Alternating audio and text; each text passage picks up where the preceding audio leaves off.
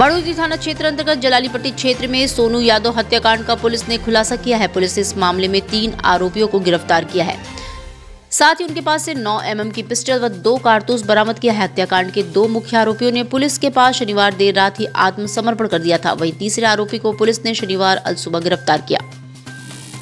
प्रकरण ये है कि इन दो पक्षों में जो है, काफ़ी पुरानी रंजिश चल रही है। पहले भी मारपीट की घटनाएँ हो चुकी हैं। लेकिन कल इक्कीस बाईस की रात्रि में आ, ये सोनू यादव के पिताजी के साथ जो है सोनू यादव वगैरह कुछ अभद्रता और मारपीट कर दिए थे जिस पर वो पटेल है ना? बलवंत पटेल।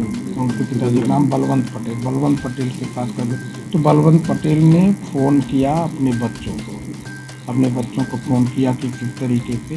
फिर ये सब एकदम दो मोटरसाइकिलों से सवार होकर के कभी संख्या में आए हैं और जला राजस्थान के जोधपुर में तैनात सेना के जवान सुनील यादव की संदिग्ध परिस्थितियों में मौत के बाद शनिवार को शव पैतृक गाँव पनिहरी चौबेपुर पहुँचा। इस दौरान श्रद्धांजलि देने के लिए लोगों की भीड़ उमड़ पड़ी। लोगों ने नम आँखों से मृत जवान को अंतिम विदाई दी।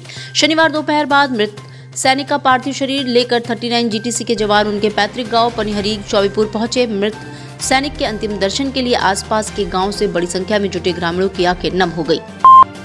चौक थाना क्षेत्र की गुरुद्वारा गली से चोरी की गई बाइक और चोरों को पकड़ने में पुलिस को बड़ी सफलता मिली है। पुलिस ने बाइक को बरामद करने के साथ ही चोरी करने वाले चार आरोपियों को गिरफ़्तार किया है।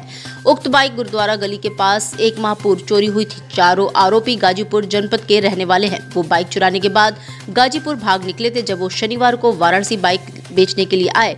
पुलिस ने दबिश देकर उन्हें सिंधिया घाट के पास से गिरफ़्तार कर लिया। एवं श्रीमान अपर पुलिस उपायुक्त काशी जोन महोदय के आदेश के क्रम में थाना चौक की पुलिस के द्वारा एक बाइक चोरी का सफल अनावरण किया गया है। 26 फरवरी 2024 को गुरुद्वारा गली से एक मोटरसाइकिल चोरी हुई थी और ऑपरेशन दृष्टि के तहत लगाए गए कैमरों की मदद से उन सभी कैमरों में आने वाले जितने भी लोग हैं, जिन्होंने बाइक चोरी की, उन्हें पकड़ा गया है आज। चार लोग हैं, जिनके नाम इस प्रकार हैं। सौरभ पांडे प्रियांशु सिंह मनीष तिवारी और चंदन यादव। ये चारों लोगों ने गुरुद्वारा गली से एक मोटरसाइकिल चोरी की और उस बाइक को लेकर के गाजीपुर चले गए थे। आज वो वापस यहाँ पर उस बाइक को बेचने के लिए आए थे और उन्हें सिंधिया घाट से पकड़ा गया है।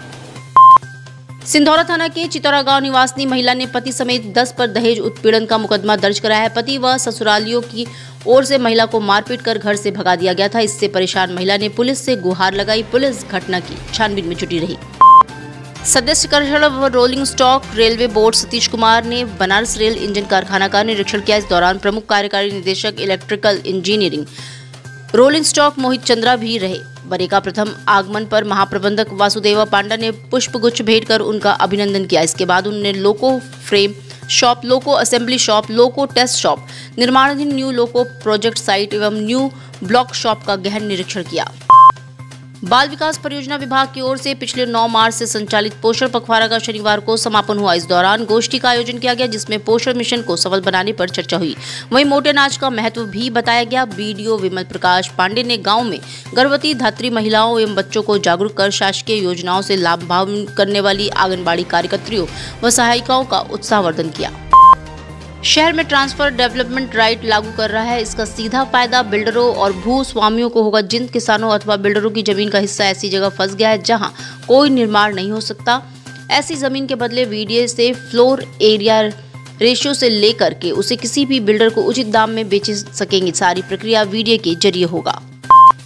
त्योहारों के मद्देनजर कमिश्नरेट पुलिस पूरी तरह अलर्ट मोड में है। वाराणसी के विभिन्न थाना क्षेत्रों की पुलिस क्षेत्रों में गश्त कर शांति व्यवस्था कायम करने को तत्पर है। इसी क्रम में लंका थाने की पुलिस ने शनिवार को लंका, सुंदरपुर समेत विभिन्न क्षेत्रों में पैदल गश्त कर मार्केट का जायजा लिया। लंका थाना प्रभारी शिवाकांत मिश्रा ने लोगों से शांति व्यवस्था कायम रखने की अपील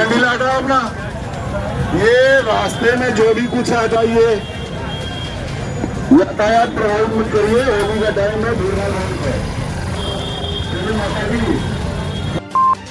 सामाजिक संस्था प्रणाम वंदे मातरम समिति की ओर से सराय गोवर्धन में संस्था के सदस्य मंगलेश के आवास पर बलिदान दिवस मनाया गया, जिसमें संस्था के सदस्यों ने शहीद भगत सिंह, राजगुरु और सुखदेव को श्रद्धांजलि अर्पित किया। कार्यक्रम में सर्वप्रथम मुख्य वक्ता वरिष्ठ समाज सेवी धीरेन्द्र शर्मा, अमर शहीद भगत सिंह, राजगुरु और सुखदेव जी के चित्र पर माल्यार्पण, पुष्पांजलि, अबीर गुलाल अर्पित कर तिलक लगाकर नमन किया।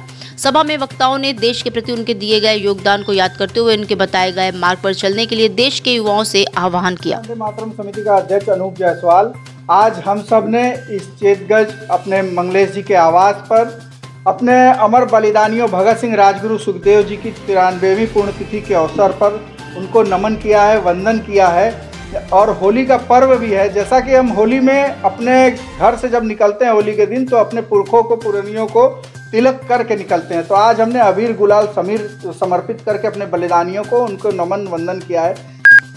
होली के रंग में काशी सराबोर हो चुकी है। चारों ओर रंग और उल्लास का पर्व मनाया जा रहा है। स्कूल, कॉलेज और विश्वविद्यालयों में होली की छुट्टी हो चुकी है।